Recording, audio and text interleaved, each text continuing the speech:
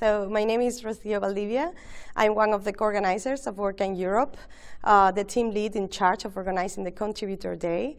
And well, it's going on. Uh, we have 500 people who registered today to be contributing on WordPress, to make WordPress better, to participate on different teams. Like you don't need to be a, a developer, developer or anything like that.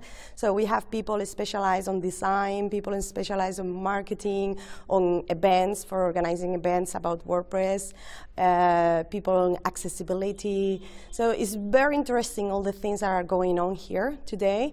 We are very surprised about all the people who are uh, interested for example, on the JavaScript workshops who are going like a, are a success so far. We have like a full room with people sitting down on the floor. So that's uh, good news about people are so interested about keeping keep improving their skills for making WordPress even better.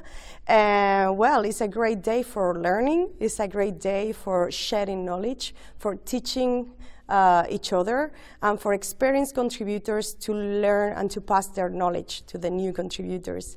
Uh, we're very excited in the organizing team. This is the first time at WordCamp Europe that we're doing the Contributor Day the day before the event.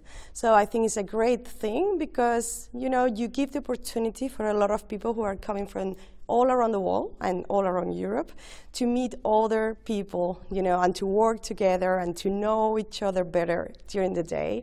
So tomorrow they will have tomorrow and the next two days in the event they will have the opportunity for, you know, having a bigger network of people and to enjoy the event better and the, at the same time to be learning how to make WordPress, how to translate WordPress, how to make documentation in their own languages for WordPress.